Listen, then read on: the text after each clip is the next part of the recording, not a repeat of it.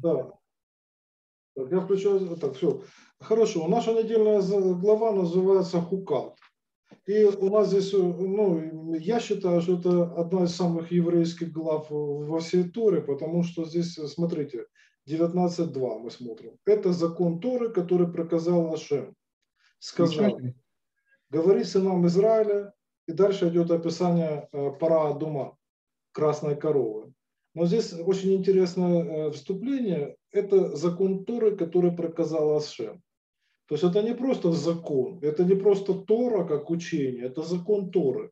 То есть это э, хукат, это э, сопряженное э, такое выражение, это от э, хука, хукот. Это э, у нас есть два типа, как мы э, уже говорили, два типа э, законов. Есть мишпатим, есть э, хукот. Да? Если Мишпатим мы как бы э, можем понять, и они похожи на э, многие законы, которые есть у других народов, то хукот – это особые законы, которые выполняются не потому, что мы понимаем, зачем они нужны, а потому что э, так нам приказал Всевышний. Правильно? И вот это вот основа Торы. И здесь мы сейчас немножко почитаем комментарии на вот это вот э, э, оборот, закон Тора. Вот э, закон учения. Раша говорит так. Обвинитель, дурное побуждение, это он имеет в виду сатана. И народы мира насмешливо говорят Израилю. Что это заповедь, в чем ее смысл? Поэтому написано, Ука – это предопределение, исходящее от меня закон, и не вправе вы подойти к нему критически. Ну, значит, он ссылается э, при этом на трактат э, Вавилонского э, Талмуда Йома 67б. Мы сейчас немножко оттуда почитаем вообще, о чем идет речь. На самом деле там идет речь немножко о других кукот, то есть не о красной корове, но вот мы читаем. Ты будешь хранить мои законы но в этом случае это как постановление. Значит, и, и, и хотя сатан и здесь как бы э, народы мира могут э, тебя э, высмеять, э, потому что существуют следующие ограничения. Э, э, употребление в пищу свинины, э, одевание одежды, которая сделана из смеси э, материалов, то есть э, э, из, допустим, из шерсти или льна. Шатнес. Да, шатнес, да.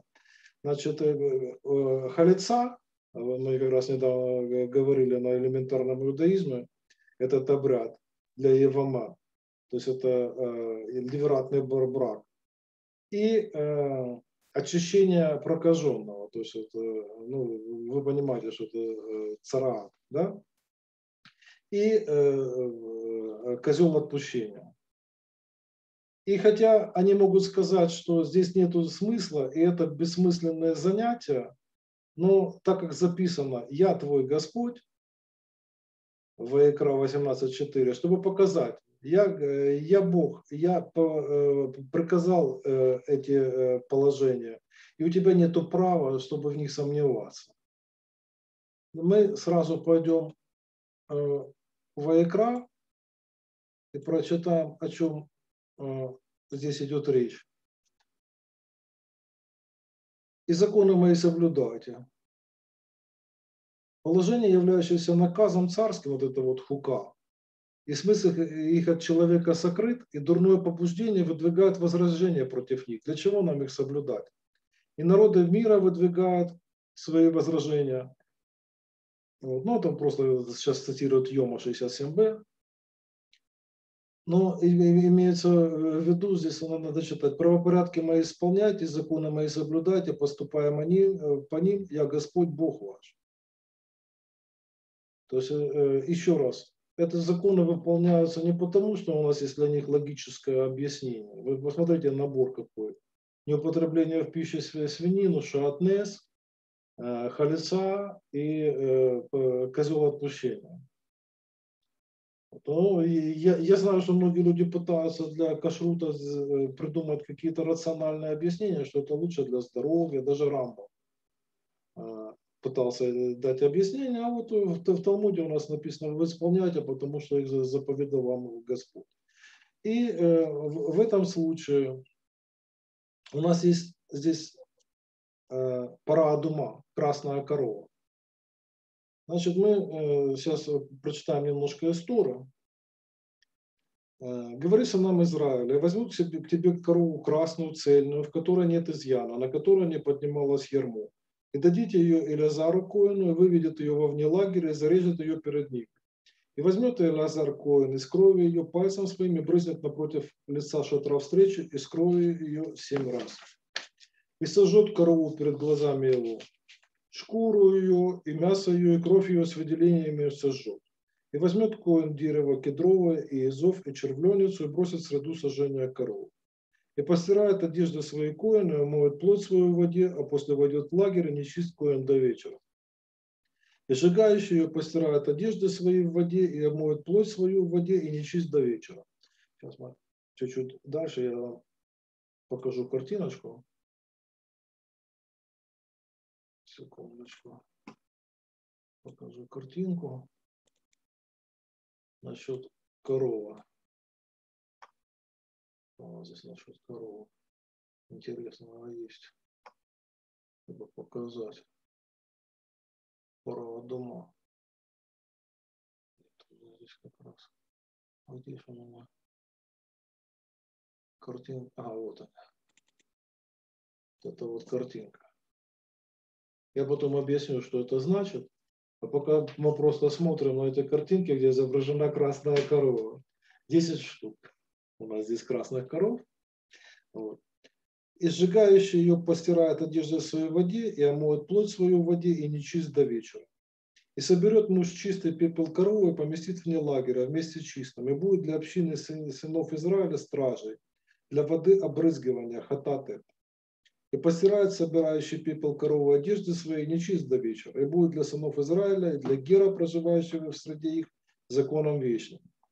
Коснувшийся мертвого среди всякой души человека и нечист семь дней. Он очистится им в день третий, в день седьмой очистится. Если не очистится в день третий, в день седьмой не очистится. Всякий, касающий, касающийся мертвого среди души человека, который умрет и не очистится, мешка нашем сделан нечистым. Отсечется душа от Израиля, потому что вода обрызгивания не побрызгана на него, нечист будет еще нечистота его на нем. То есть о чем идет разговор, если человек коснулся мертвого тела, коснулся могилы, коснулся кости, как здесь было, и всякий, который э, дотронется поле к убитому мечом или к мертвому, или к, к кости человека, или к могиле, нечист будет семь. То есть вот эти вот вещи, которые связаны э, со смертью, они настолько загрязняют э, тому нечистотой вот этой вот э, э, смерти, что этот человек не имеет права входить в храм. В этом случае в мешкан. То есть э, здесь э, душа сразу, карет, душа отсекается сразу. И для того, чтобы войти такому человеку в храм, ему надо очиститься, для этого нам нужна красная корова, пора дома. Причем обратите внимание, это еще Раша это тоже в комментариях написал, что это э, пора дома э, очищает от, от нечистоты смерти, и в то же время тот, тот который ее готовит, он сам э, загрязняется. Посмотрите, тот, тот такой коин, который э, и присматривает за ее изготовлением, он не чист. Тот, который э, сжигающий ее, не чист и, и э, пепел корову, кто собирает, он не чист. Он, э, каждый из них загрязнен. И в то же время, что мы готовим воду очищения с помощью этой коровы. Да? И возьмут для нечистого из праха сжигания хатата и даст на него воду живую в сосуд. Ну, вода живая, это не, не сказочная вещь, это имеется вода, которая из источника. То есть э, считаю, что такая вода напрямую связана с э, источником жизни, и она годится для э, всех вот этих вот вещей. То есть вода из миквы тоже она своего рода живая, потому что чисто дождевая не годится для этого. Самая лучшая миква, конечно, это море, океан. И возьмет изов и окунет, и окунет ну, что такое изов? Это растение такое. И окунет воду муж чистой, побрызгает на шатеры, на все сосуды, сосуды там, где мертвое тело шатер. И на души, которые были там, и на, на дотрагивающего кости, и, или к убитому, или к мертвому, или к могиле. И побрызгает чисто на нечистого в день третий, в день седьмой, очистит его в день седьмой. И постирает одежды свои, помоется в воде и чист вечером. Помоется в воде это микро, как вы понимаете. А муж, который будет нечистый, не очистится, и сечется душа то из среды общества, потому что Мегдаш Ашем осквернил. Вода обрызгивания не брызнута на него, не чист он. И будет для них законом вечный, и брызгающий воду обрызгивания постирает одежду свою, а касающийся воды обрызгивания будет нечист до вечера. И все, чего коснется нечистой, будет нечисто, а душа, душа касающаяся будет нечиста до вечера. То есть видите, как это опасно, и, и, сколько много условий для того, чтобы изготовить правильную воду обрызгивания из красной коровы. Ну и как, как сейчас мы знаем, сейчас нету пепла красной коровы, и поэтому все загрязнены, все, э, все нечисты, никто не имеет права войти в храм. Правильно? И поэтому очень большая осторожность даже при подъеме на храмовую гору, потому что на том месте, где стоял храм, все равно а, освященная гру, ну, земля освящена, это а, кодыш, и туда нельзя ступать, потому что все в состоянии э, ритуальной нечистоты, коровы у нас нету, пепла коровы у нас нету, и поэтому мы не имеем права даже наступить на то место, где стоял храм. Сразу э, в карет, как э, положено. Значит, будем раз, немножко разбираться возьмут себе корову красную и цельную. Что такое красная корова? Ну, она не ярко-красного цвета, она такая рыжеватая, да? но а, она а, определенным образом рыжеватая. А в ней нет ни, ни одного, на какой-то определенной площади ее шкуры не должно быть ни одного черного или белого волоска. Один вроде может быть, а два волоска она уже не годится. Это достаточно редко, но такое встреча, встречаются. Да? И вот у нас здесь, э, я нашел такую картинку, которая нам рассказывает об истории красных коров э, в Израиле. Вот первая корова, о которой мы сейчас говорим, под номером один, это которую э, приготовил Элязар бен Аарон. Это сын нашего Аарона. Это вот первая корова. Ее пепла хватило до времен Эзры на возвращение из Вавилонского плена. Эзра приготовил вторую корову. Шимон Гацадик приготовил третью и четвертую. Э, Коин Гадоль Йоханан приготовил пятую и шестую. И э, во времена второго храма была седьмая, восьмая, девятая, и здесь это прекратилось. И десятая корова э, уже будет приготовлена во времена Машеха. То есть между 9 и 10 очень большой промежуток. Сейчас ее нету, мы находимся как раз в этом промежутке между 9 и 10 коровы. Ну, э, значит, цельную, в которой нет изъяна, как мы понимаем, что, в общем, нету двух даже волосков, на которую не поднималась ярмо. То есть она не знает, э, что такое работа. Никогда она не была в рабстве у человека, грубо говоря, это корова. Еще очень интересно, что э, есть такое выражение, что красная корова – это мама золотого тельца. Вот мы сейчас об этом тоже поговорим. Каким образом она может быть мамой золотого тельца, если золотой телец был совсем в другой книге? Если она появляется на арене только сейчас, э, то каким же образом она э, может быть мамой, когда он намного ее старше? Ну, Раша объясняет это так, что, значит, э, она мама золотого тельца, э, потому что как, когда какой-нибудь... Владимир, нельзя звука добавить чуть-чуть? А, можно, можно, сейчас я добавлю. Так лучше?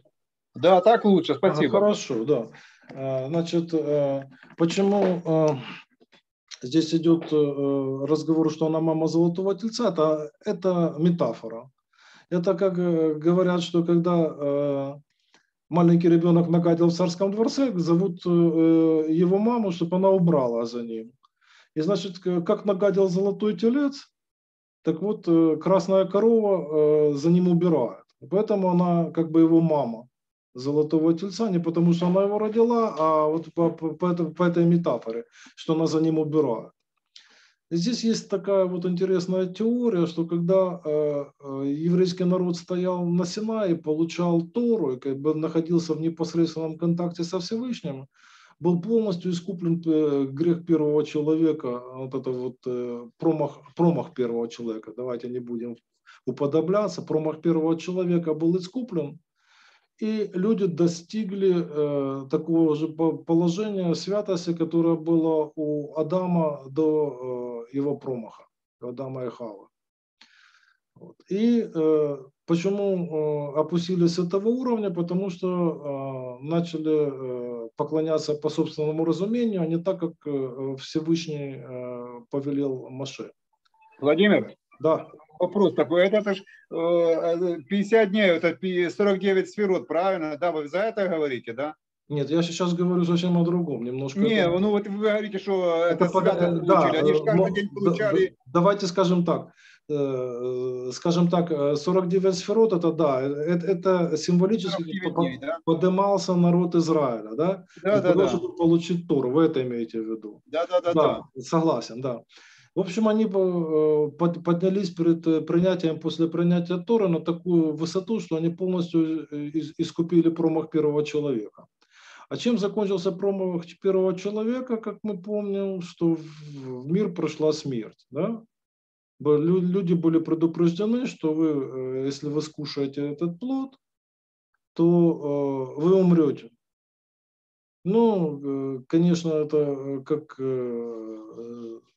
Нахаш пытался это толковать по пшату, типа, что вот посмотрите, вот я кушаю, я не умираю, вы скушаете, не умрете. Но тем не менее, после этого э, в мир пришла смерть, э, в мир людей. До этого смерти не было. И э, по, этой, по этому объяснению, когда евреи у горы Синай поднялись на такую высоту, что смерть ушла из мира. В общем, промах первого человека был полностью искуплен, и то, что а, осталась смерть, сейчас это не а, из-за промаха первого человека, а из-за греха золотого тельца. И эм, его мама, красная корова, частично а, вот эту вот штуку искупляет. То есть, по крайней мере, она не воскрешает, но как бы никакой, некоторый намек на это содержится во всех этих э, манипуляциях, и, по крайней мере, она очищает от э, нечистоты, связанной с, с мертвым телом, от нечистоты смерти. Вот это вот у нас такое вкратце, там, конечно, здесь можно э, копать очень глубоко, но вот это вот вкратце, почему... Э, Владимир, вот вы еще не сказали, вот когда сжигают корову, это там лишь бросают, э, как этот, э, траву и нить эту червленую. Да, это что же как будто золотой, ну, золотой грех золотого теленка, да, тоже с этим связано.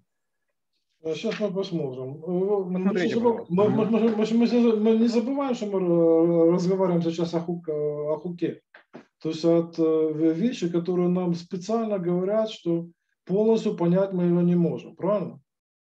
То есть да, да, да. Раша, повторяя Вавилонский Талмуд, говорит, что можно сказать, со, со с точки зрения сатана, это сомнение нашего, и с точки зрения народов мира, что это просто бессмысленные какие-то мероприятия. Почему вы бросаете туда щепки, так, э, дерево кедровое и изов и червленицу и бросить среду сожжения коровы? Ну, значит, э, здесь можно попробовать э, рационально объяснить. Вот корова Э, самая большая, как, как бы, эм, из кошерных животных, самое большое э, как бы вместилище жизни, чисто биологическое. Да? Э, я, я не знаю, какие кошерные животные больше коровы. Там. Наверное, это одно из самых крупных кошерных животных. Оно вместитель жизни. Кедр это тоже очень большое дерево. Да? Но изов это маленькое какое-то растение. Да? Червленец – это шерсть. Да? Почему червленицу? А, потому что, ну, вот, допустим, Раф Левин считает, что потому что червленицу красили с помощью красителя, добытого из маленького червя, это тоже какой-то символ. То есть э, здесь можно придумать какую-то символику, ну а э, если такая иммунообшута, можно сказать, Всевышний говорит, прыгая, мы спрашиваем, как высоко. И он нам говорит, вот так и так. Ну, мы, мы так и прыгаем.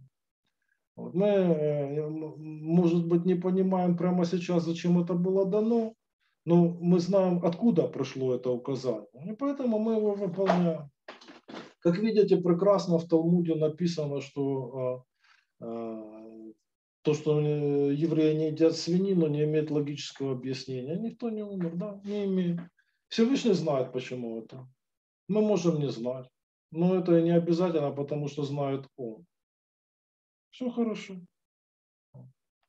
И э, что еще мы можем сказать по этому вопросу? Ну, вот это, мы уже обратили внимание на эту странную вещь, что те, которые готовят пепел красной коровы, все становятся нечистыми, да? А тот, на кого брызгают этой водой, очищается.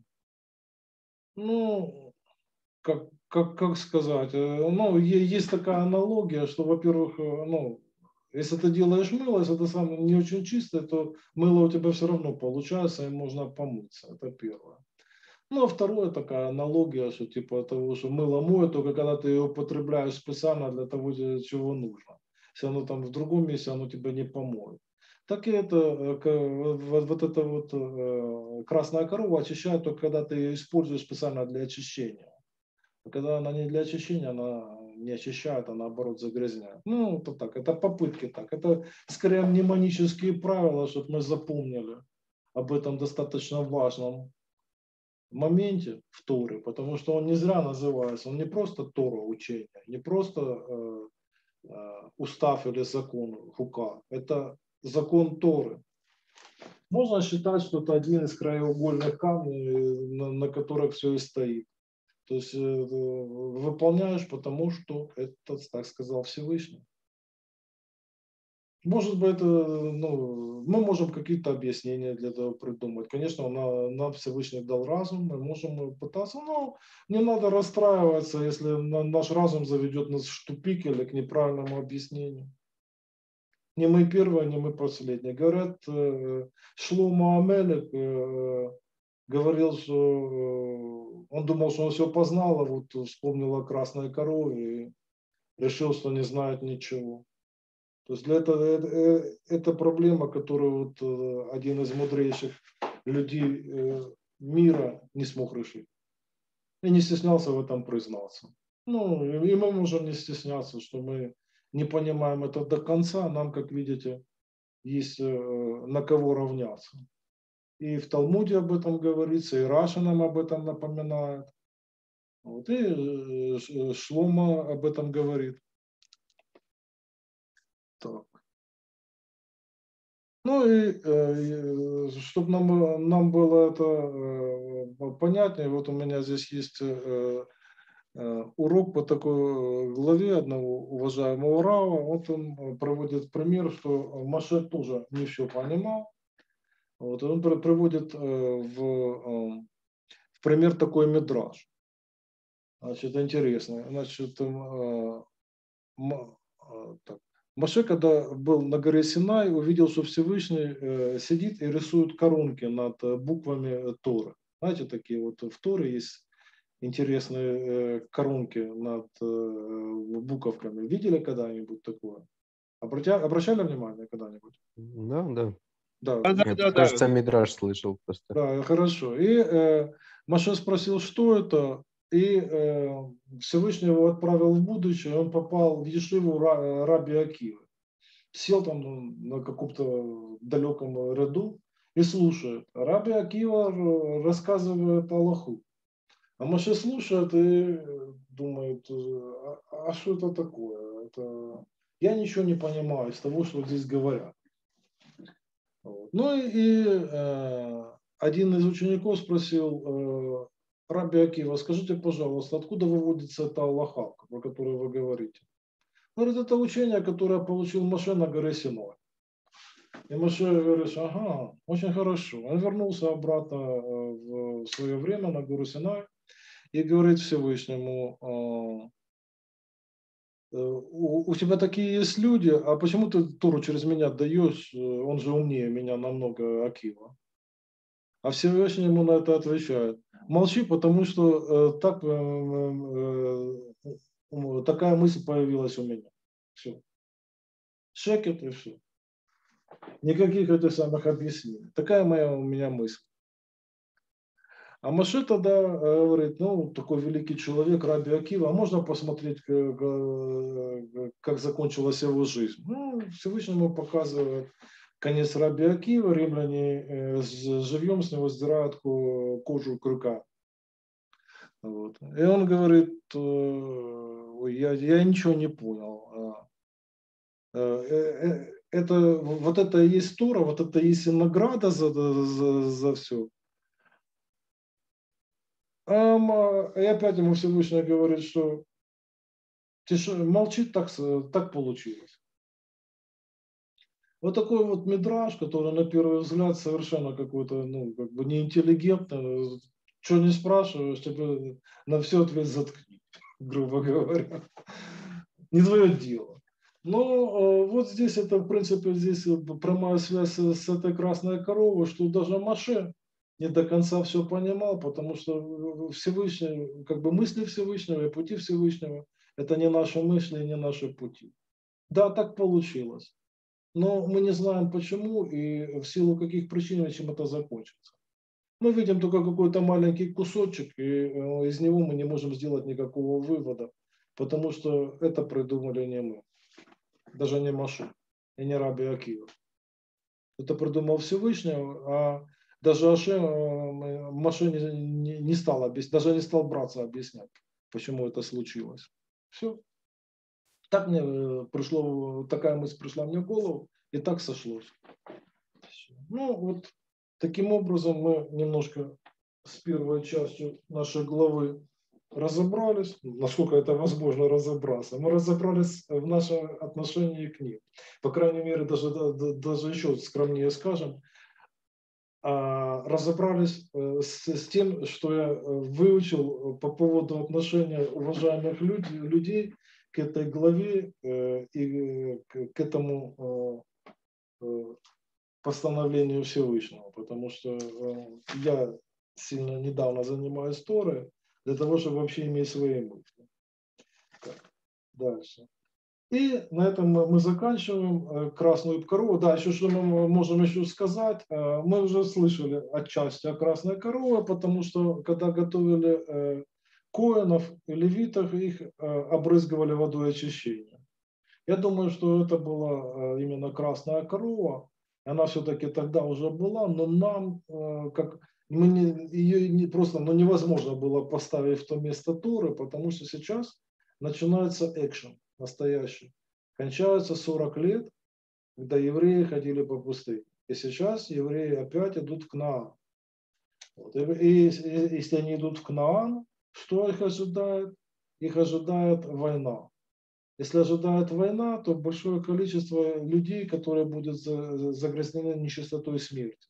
И именно сейчас нужно ну, э, именно ну, нужно какое-то средство, которое очистит, да, которое позволит евреям пользоваться мешканом. Да? Вот, поэтому в другое место Торы просто невозможно ее поставить, а так э, универсальный принцип, что в Торе хронология не всегда соблюдается, и нет раннего и позднего. По всей видимости, уже тогда э, эта вода обрызгивания была, но мы э, так подробно об этом э, положении красной коровы мы еще не знали, но вот теперь, теперь узнали. И дальше у нас идет продолжение. Прошли сыны Израиля, вся община в пустыню Цин. Месяц первый, и поселился народ в Кадыш, и умерла там Мирьям, и и была похоронена там. Значит, э, у нас опять трагедия. Э, из семьи Маше умерла его старшая сестра. Мы, сейчас мы немножко посмотрим, где этот Кадеш находится. Это не Кадеш Барнея в этом случае, скорее всего. Проблема в том, что их несколько Кадеш.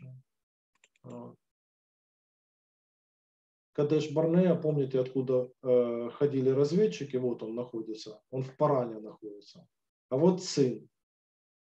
То есть это как бы одна и та же пустыня, но немножко разные места. Вот. И э, пришли э, э, сюда, в Кадеш, да?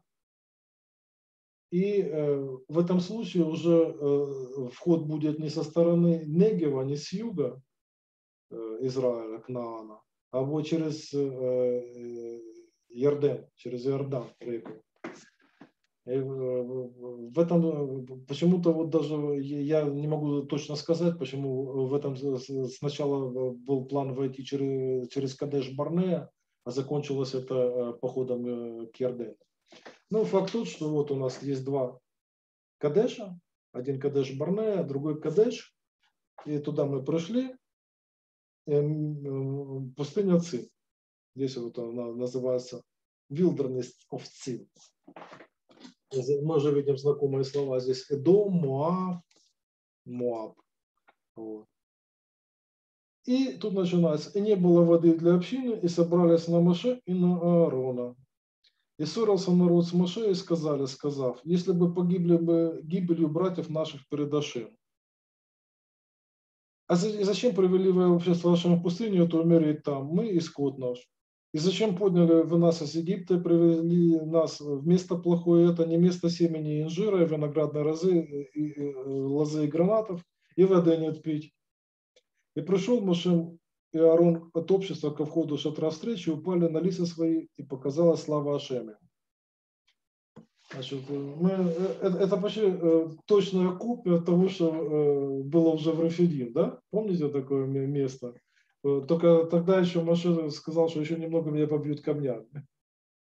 А в этом случае он, они уже просто уже сразу это, побежали к шатру встречи и упали на лицо, и слава Ашем появилась перед ними. Это, кстати, очень важная вещь. Сейчас, сейчас тоже интересный эпизод. И говорил Ашем Моше сказал, возьми посох и собери общину, ты и Аарон, брат твой, и говорите скале перед глазами их, и даст воды свои, и вынешь для них воды из скалы, и напоишь общину, и скот их. И взял Маше посох перед Ашем, как приказал ему, и собрали Маше и Аарон общество к лицу скалы, и сказал им, слушайте, пожалуйста, непокорно, а из скалы это вынем для вас воды. И поднял Маше руку свою, дал скалу посохом своим дважды, и вышли воды многие, и пила община, а и скот их. Ну, вроде бы все хорошо, но здесь начинается, э, почему говорят, что э, Маша не вошел э, в Кнаан по причине этого, вот этого эпизода. По причине, так написано по Пшату. И сказала Шаммаше и Аарону, так как не поверили вы мне выделить меня перед глазами сынов Израиля, поэтому не приведете общество эту в страну, которую дал я им. Так, все хорошо. Вы не придете из, именно из-за этого эпизода. А что он сделал неправильно? Вот что, что, что случилось? Э, хорошо. Даже если Маше что-то сделал неправильно, прежде Аарон. Он только потом еще рядом стоял получается. Ну, здесь есть много толкований разных. Но мы сейчас вернемся на шаг назад. И говорил Ашем Маша сказал, возьми посох и собери общину, ты Арон, брат твой, и говорите скале пред глазами, и даст воды свои. То есть, что говорилось собрать общину, как у нас здесь община называется в этом случае? Не Кагал, это как-то самое, как он у нас община называется?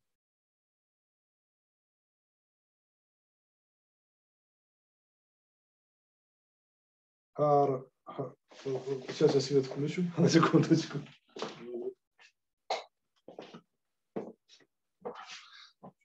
Мне уже плохо видно еврей. А, да, да, это община, это в хорошем смысле община. Это не, не кагал, не просто сброд людей. Община – это то, что организовано. Надо было их собрать, обратиться к скале и сказать, скала, дай по, по слову вашему дай воды. Скала бы дала. Потому что все в мире э, подчиняется Ашем. Если Ашем сказал, что сейчас будет вода, будет вода. Вместо этого э, Моше идет э, к скале и делает то, что он делал в Рефидим только два раза. Он ее бьет два раза. И еще обратился общину. Слушайте, пожалуйста, непокорные. А вот сейчас я вам трюк покажу с посохом. Раз, два, вот вода. Но э, вопрос в том, что э, посох был не нужен, а вообще не, посох просто надо было его взять. Может, это был как символ вот э, его власти, знаете, как этот жезл такой у, у царя. Тем более этот э, посох, который Машер использовал для казни в Египте, для того, чтобы развести воды моря. В общем, это очень серьезная вещь, но ему не, было, говорит, возьми посох и пойди, наверное, скалу пару раз. То есть в этом случае он сделал не то, что сказал э, ему Ашем, вопрос, насколько э, велик его был проступок. Ну, здесь есть такое толкование, что э, в Рафидим в прошлый раз это было Э, рабы, которые только-только освободились из египетского рабства, и э, с ними надо было поступать именно так. А в случае э, в Кадеш это, это было уже другое поколение. Уже прошло 40 лет. Владимир, я извиняюсь, опять звук очень а, плохо. Да, сейчас я, я поправлю. О, сейчас хорошо, спасибо. Да, сейчас поправлю звук. Значит, э, Извините значит, за беспокойство. Да ничего, все очень хорошо, все правильно. Я, бы, я, я просто что хочу сказать, что в прошлый раз это были рабы, которые только вышли из Египта, и э, им нужны были какие-то материальные чудеса, а с новым поколением э, предполагалось, что было достаточно, э, у них было гораздо больше веры, и достаточно было сказать скале, скала воды. И в, в принципе э, э, им это было достаточно для того, чтобы э, э, подтвердить свою веру в Ашем. Но а, Маше не дал э, такой возможности, а опять сделал так, как будто бы он был необходим для этого. Ну, есть такое толкование. Ну, в общем, а есть третье толкование, такое больше мидрашное, что Ашем, э, так как мы до конца не можем понять, что случилось, а в, чем такая большая вина, и почему Маше и Аарон не могут войти в Кнаан, вот, то есть такое толкование, знаете, когда Пшат нам не помогает, то на помощь приходит Мидраш всегда. И Мидраш, э, и один из Мидрашей говорит, что на самом деле это все-таки, э, почему говорит это Мидраш, потому что Маше так сказал, что он не вошел в Кнаан из-за греха разведчиков, да? Но э, так как э, это немножко бы его унизило, то для, не, для него и с Аароном э, пред, Ашем специально, чтобы их э, оградить, и чтобы мы даже не поняли, что случилось, для них придумали отдельную как бы провинность. Вот. Ну, есть такой метраж. Но факт тот, что здесь от лица Ашем написано то, что так. Я опять перепутал книги. Э, так как не поверили во мне, выделят меня перед глазами сынов Израиля, поэтому не приведете общество в эту страну, которую дал, дал я им. Все. Ну, э, еще раз эту ситуацию э, проанализируем. Она почти, я говорю, копия просто ситуации. Но здесь есть свои нюансы. Значит, зачем подняли нас из Египта, привезли нас место плохое, это не место семени, инжира, виноградной лозы, гранатов, это чепуха. У всех был только ман. И воды нет пить. А вот это серьезно. Человек без воды умирает. Вот. И как, э, так как это серьезно, общине была дана вода, но э, получилось это не так, как задумывалось, а немножко с Э, своеволием Маши, хотя я это тоже не уверен, что, что это было своеволие. Короче, мы до конца не понимаем, что случилось, но было заявлено, что э, не приведете общество это в страну, которую дал, дал я им. Ну, мы потом знаем, что Яшуа Бену был избран как э, преемник Маше, как луна и солнце.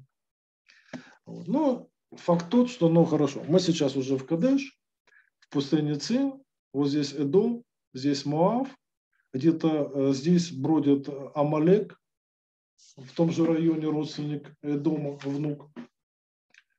Вот. И э, теперь нам надо пройти э, из, из Кадеша к реке Ярден, да?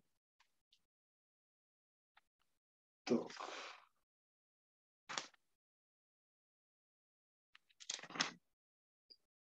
И послал Маше посланцев из Кадеш к царю и дому. Так сказал брат твой Израиль. Ты знал всю тягость, которая нашла нас. Кстати, обратите внимание. То есть обращается он э, от имени Израиля, от Яакова, да, брат твой Израиль. То есть себя он вообще не, не, не упоминает, а обращается от имени брата, родного брата и дома, это э, э, Израиля. Так сказал брат твой Израиль, ты знал всю тягость, которая нашла нас. И спустились отцы наши в Египет, и жили мы в Египте дни многие, сделали зло нам египтяне отцам нашим. И завопили мы Кашем, и услышал город наш, и послал посланца, это Маше был, конечно, и, и вывел нас из Египта, и вот мы в Кадеше, в городе на краю границы твоей. Сюда мы делаем вывод, что вот Кадеш как раз на границе дома находится, горы Сиир. Да? Пройдем, пожалуйста, по стране твоей, не пройдем по полю, по винограднику, не будем пить воды колодца, дорогой царя пройдем, не свернем направо и налево, пока не пройдем границу твою. Что такое дорога царя? Это как бы проспект центральный, да? То есть он не огородами, не через поля, не через леса, а как по, по центральной автомагистрали они пройдут и ничего не возьмут, а если возьмут, заплатят. Да? И сказал ему дом, не пройдешь через меня, чтобы с мечом не вышла навстречу тебе. И сказали ему сыны Израиля, по обходной дороге поднимемся, если воды, твои будем пить, я и скот мой, и дам я плату их, только нет ущерба, ногами своими пройду. И сказал, не пройдешь. И вышел дом навстречу ему с народом тяжелым и рукой сильной. И отказался дом дать Израилю пройти в границы свои, свернул Израиль от него. Значит, мы э, э, э, здесь сейчас видим, что с Эдомом здесь разговор особый. Эдом не относится к, к семи народам Кнаана, и с Эдомом нельзя так поступать, как с народом Кнаана. Поэтому в этом случае мы, евреи обходят гору Сиир и уходят, не вступая в конфликт с Эдомом. И двинулись из Кадеш, и прошли сыны Израиля вся община к горе Гар. И сказал Ашем Маше и Аарону на горе Гар, на границе страны Идом, сказал, соберется Аарон к народу своему, потому что не пройдет в страну, которую дал нам Израиль, за то, что нарушили вы уста мои, увод ссора. То есть прошло время Аарону умереть. А, значит, Мирьям уже умерла, теперь э, время умереть Аарону. Возьми Аарона и Лазара, сына его, подними их на гору гор, и сними с Аарона одежды его, один в них Илиазара, сына его, Аарон соберется и умрет там.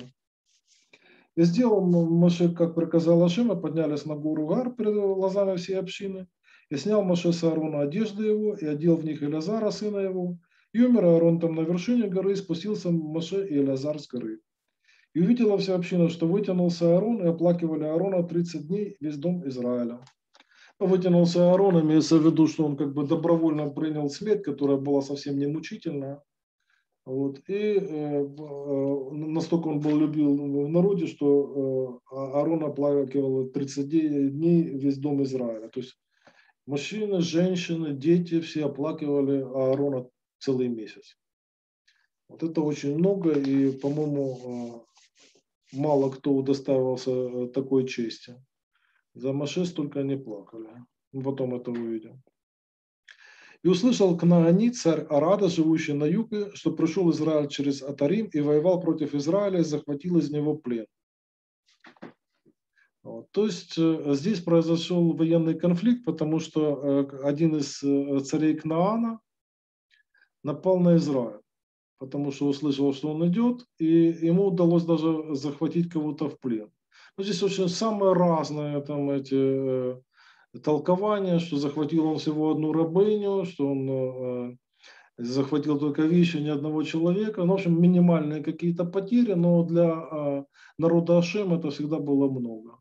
Даже одна рабыня – это много в этом случае. И дал Израиль недер для Ашем и сказал, если давай дашь народ этот в руку мою и уничтожу города, города его, То есть э, никаких трофеев не будет брать. Это Израиль, это здесь опять Маше. Вот. И послушал Ашем голоса Израиля, дал к они и уничтожил их и города их, и назвал имя места Хорма. Ну, это мы уже помните, когда-то мы вспоминали, что пустыня называлась Хорма, уничтожение. И двинулись с горы гор путем мора Тростникова обходить страну и дом. И не выдержала душа народа в дороге.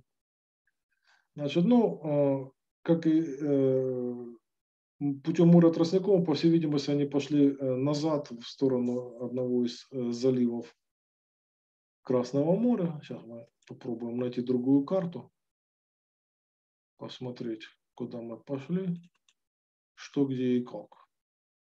Может, здесь будет понятнее. Вот.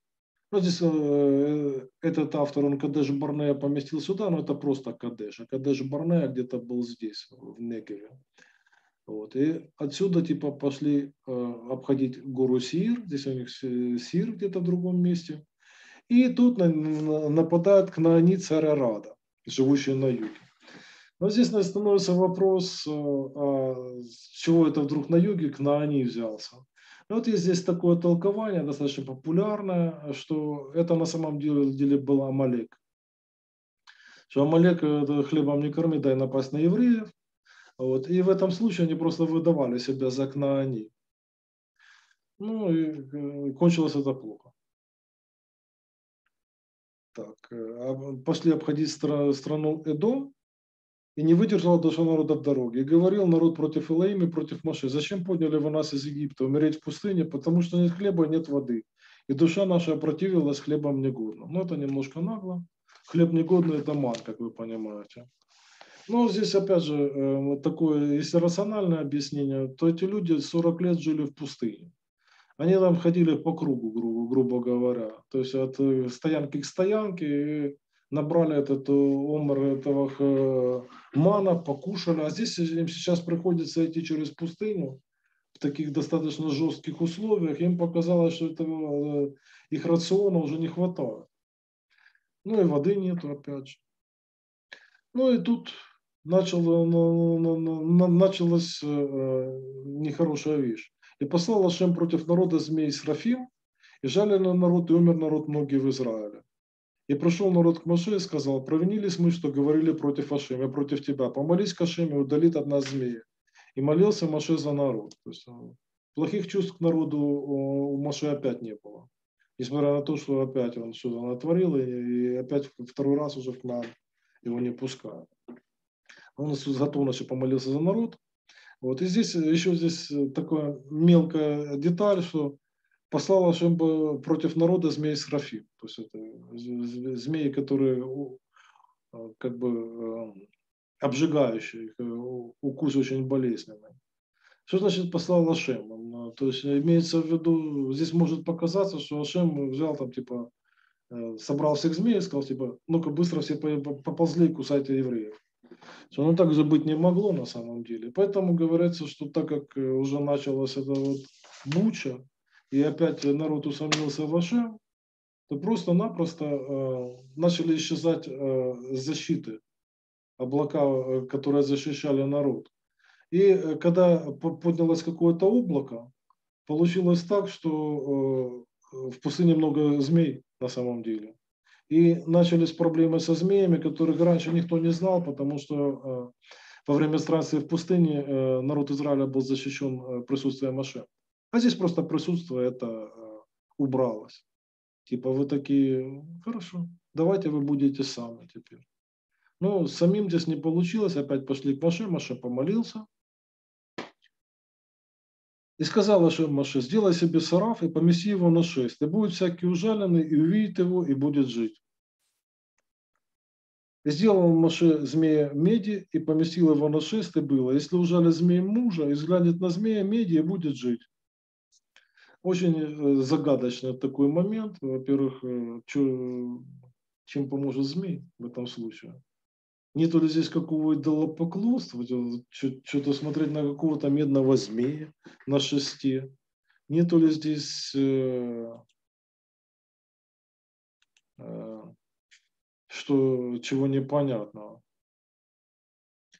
Мне, допустим, ничего не понятно в этом случае. Так, идем дальше.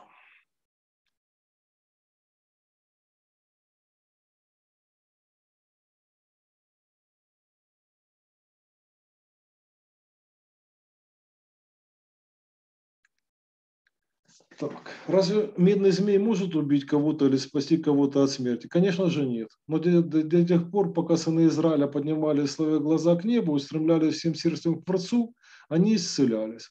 Но если они отказывались направить все помыслы своего сердца к Отцу Небесному, они погибали. Это метраж. Значит, имеется в виду, что этот змей должен был напомнить, собственно говоря, простую вещь у всего Всевышнего. И это тоже определенный урок Израилю, который э, идет от Всевышнего. И этот змей не, не сам по себе, а он от Всевышнего. И когда ты смотришь на, на, на змея на шесте, ты вспоминаешь это, то, что Маша тебе говорил об этом. Да, действительно, это же от Всевышнего. Если от Всевышнего, то э, дело совсем другое. И человек не умирал от этого. Вот. А если он э, думал, что да, меня, меня укусила ядовитая змея, я сейчас умру. Ложился и умирал. То здесь это надо понимать так, что это не поклонение змеи. Это поклонение Всевышнему, это просто напоминалочка, это как указка, куда надо смотреть в этом случае. Надо смотреть э, в небеса каша, грубо говоря. Но мы почему-то традиционно говорим, что э, небеса это место обитания Бога, хотя это неправильно как-то. Потому что как э, в том Мидраше, то я тебе, мальчик, я тебе дам 10 рублей золотом, если мне покажешь, где Бог. Мальчик говорит, я вам тоже там 10 рублей золотом, если мне покажете, где Бога нет. То есть не обязательно, э, не, ну, тем, но тем не менее Шамаем это всегда считалось символом, скажем так, символом пребывания Ашем. И поэтому, когда люди смотрели э, в небеса, они вспоминали, да, мы не сами посидим и э, поэтому э, оставались жить. Так, и после э, медный змей, сделанный Маше, был впоследствии помещен сынами Израиля в святая святых, где хранились все предметы, служившие вещественным доказательством великих чудес, совершенных Творцом для своего народа.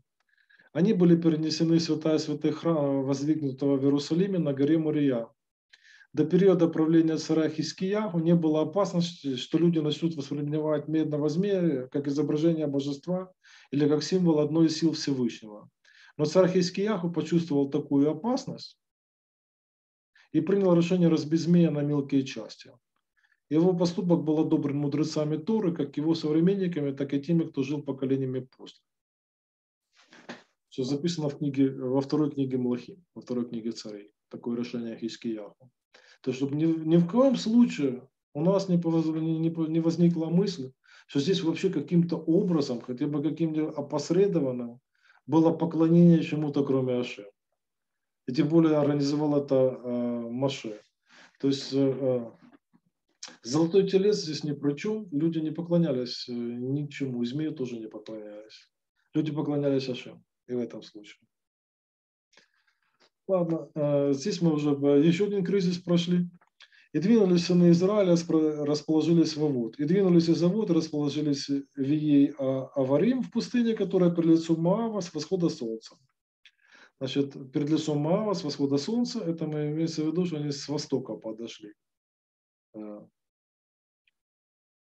Оттуда двинулись, оттуда двинулись расположились в Нахале Зерет. Оттуда двинулись, двинулись и расположились с той стороны Арнона, который в пустыне, выходящей из границы Эмари. Потому что Арнон – граница Маава, между Маавом и между Эмари. Так, у нас здесь есть? Вот, Зерет есть. Вот так, а Зерет у нас есть. Нахаль Зерет, вот тут. А вот вторая Арнон, которая здесь называется Амо, Арнон, да, вот, вот, вот Арнон, а вот Зерет. Вот они здесь находились, вот в этом месте. Так, поэтому, поэтому сказывается в книге Вой наши Ваев в Суфе и на Нахали Арнона. И течение Нахали, которое спускается до поселения Ара и пролегает к границе Маава. И оттуда к колодцу, это колодец, о котором сказал Ашем Маше, собери народ, и я дам э, для них воды.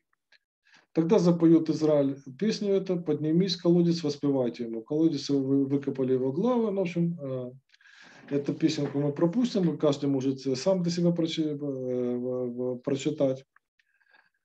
Из, так, из и послал Израиль посланцев к Сихону, царю и Мари, сказав, Пройду я по стране твоей, не сверну на поле, виноградник, не будем пить воды колодца, по дороге царя пойдем, пока не пройдем границу твою. И не дал Сихон Израилю пройти границы свои, и собрал Сихон весь народ свой, и вышел навстречу Израиля в пустыню, и пришел в Яац, и воевал против Израиля. Вот такое. И поразил его Израиль мечом и наследовал страну его от Арнона до Ябока до сынов Амона, потому что крепка граница сынов Амона. У нас, по-моему, Ябука здесь уже нету на этой карте. А мы сейчас возьмем другую. Где у нас здесь еще есть карта? Там, чтобы Ябук еще был. Наверное, здесь будет. Посмотрим.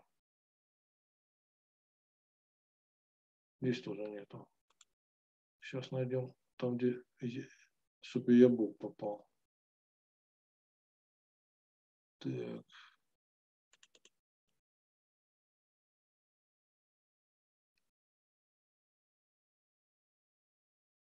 Так, Арнон, Зерет, Ярмук, Ябук. Вот она. Вот она протекает, приток Иордана. Здесь уже расселение колен на восточном берегу, но в принципе мы немножко абстрагируемся от этого. Это все здесь происходит на восточном берегу э, реки Иордан. Так, и взял Израиль все города эти, поселился Израиль во всех городах и Мари, в Хешбоне и во всех пригородах. Хешбон вот он. Потому что Хешбон – город Сихона, царя Мариона. А он воевал против царя Маава первого, взял всю страну его из руки до Арнона. Поэтому скажет сказитель, войдите в Хешбон, обстроится и утвердится город Сихона. Потому что огонь вышел из Хешбона, пламя из Кирьят Сихона пожрало Ар Моав, хозяин высот Арнона. Ой тебе Моав, то есть горе тебе Моав, пропал ты народ к Моша, к Моша-то их идол был дал сыновей своим беженцами, а дочерей своих плен царю Эмари Сихону. И поразили моих стрелами, пропал Хешбон до Дивона, и опустошились моих до Нофаха, который до Мейдвы. И поселился Израиль в стране Эмори. И послал Маше разведать Яэзер, и захватили пригороды его, и наследовал Эмори, который там. И повернули, поднялись по дороге в Башан, и вышел Ох, царь Башана, навстречу им. Он и весь народ его на войну в Эдрем. Ну, Ох обычно представляется как великан. Это потомок того Ога, который пережил всемирный потоп, там Мидраш, естественно, пережил всемирный потоп из-за каких-то заслуг своих, э, которому Нох позволил держаться за ковчег и подкармливал его. Вот это его потомок, один из великанов. У него есть какие-то заслуги. Сейчас мы не будем туда, а, были какие-то заслуги, скажем так, до этого момента он и весь народ его на войну в Эдрей. И сказал Ашем Маше, не опасайся его, потому что в руку твою дал я его, и весь народ его, и всю страну его, и сделаешь ему, как сделал Сихону, царю и Мари, который живет в Хешбоне. И поразили его, и сыновей его, и весь народ его, до, до неоставления у него уцелевшего, и наследовали страну его. И двинулись сыны Израиля, и расположились в степях Маава с той стороны Ярдена Ерехо. То есть э, с той стороны Ярдена находится Ерехо, вот он, маленький, Иерихон здесь написан. И здесь расположились сыны Израиля. Как помните, первая стоянка после Ярдена был Галга. Вот он тоже здесь. Вот. В общем, э, на, э, на этом заканчивается наша глава. Сейчас я посмотрю, не можем ли мы как-нибудь найти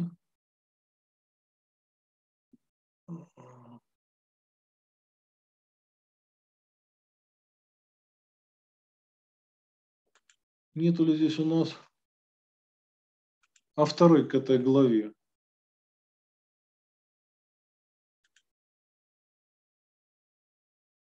Нет, нету здесь. Где же он есть? Так. Так, ну, что мы можем сказать? Ну, про Уга мы уже вспомянули. вспомянули. Так где же они? Так. Натуру. Еврейская Библия. Может здесь. Это Маханая Масайт. Я помню, что у них что-то есть такая очень удобная таблица.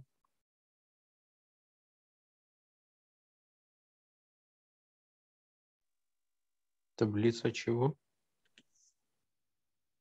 Таблица недельных глав и авторы книг. А это ж в Сидуре есть тоже, по-моему. Но у меня в Сидуре нету. Я помню, что э, это должно быть шафтин у них, если не ошибаюсь. Посмотри, пожалуйста, что там у нас. Это какая Сейчас най- найду да, какая сначала. автора. Чтение Туры и авторы. Э.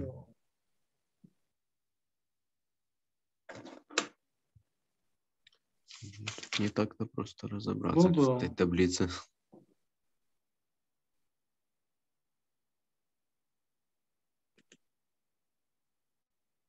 Так, где что-то. А, может быть здесь.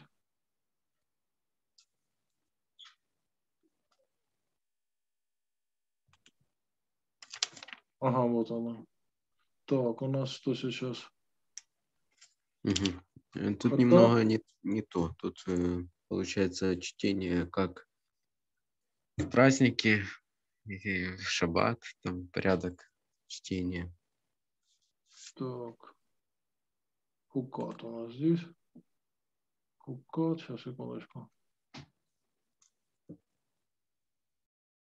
Автора книги Хукат, вот она, все, нашел. У нас, значит, э, э, автора э, Шафтим 11, 1, 11.33. Значит, сейчас мы быстренько прочитаем, она не очень длинная.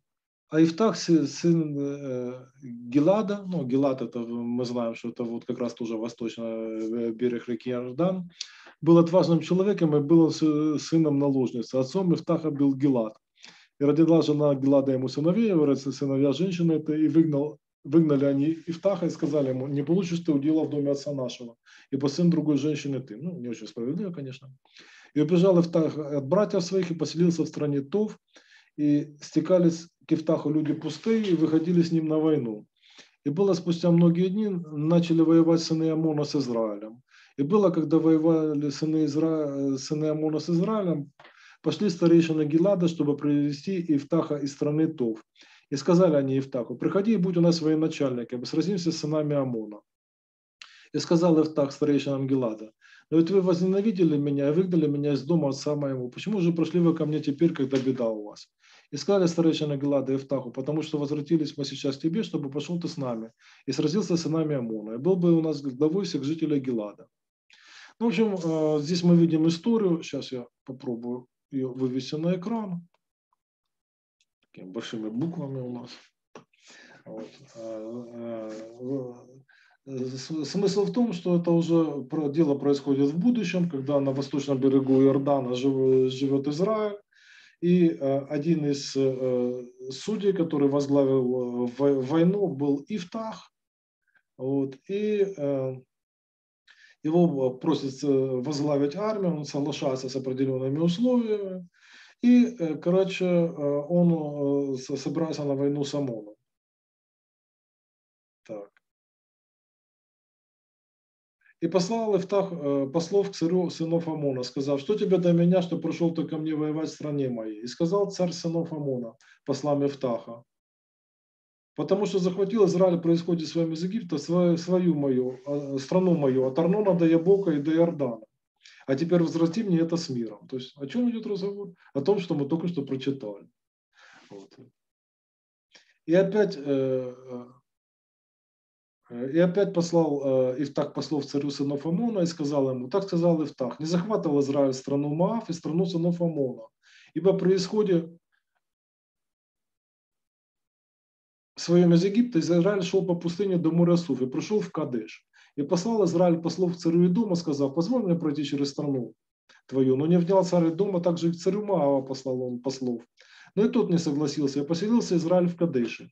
И шел он по пустыне, и обогнул страну Дом и страну Маав, и, дошел, и подошел со стороны восхода солнца к стране Маав. И расположились на Израиля по ту сторону Арнона, но не, не переходили границы Маава, ибо Арнон – граница Маава. И послал Израиль послов к Сихону, царю Мариев, царю Хешбона, и сказал ему Израиль, позволь нам пройти через страну твою до места моего. Но не поверил Сихон Израиля, не дал ему пройти через границу свою.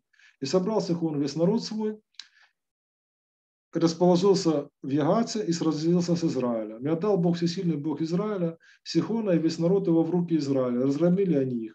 И владел Бог всесильный Израиля, изгнал и Мариев от лица народа своего Израиля. А ты овладеть хочешь земля, землями этими. То, что даст тебе владение Кнмош, божество твое, тем я овладеваю. А всем, что дал нам владение Бог всесилия наш, тем я владеем мы.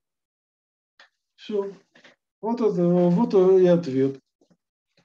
И видите, какая прямая связь авторы с нашей недельной главой. Да, действительно, это то самое, что мы только что э, слышали прямо из Торы. И вот это, вот это восточный берег реки, Иордан, своего рода э, Маше немножечко вошел в Кнаан, да? Здесь все-таки э, это э, стало частью э, Израиля, восточный берег. Но с другой стороны, могло не становиться, если бы царь просто бы их пропустил, правильно? Он не только не пропустил, то есть две войны были. В одном месте была война с переодетыми амаликитянами, а в другом месте уже была война э, с царем, которая закончилась очень плохо для этого царя.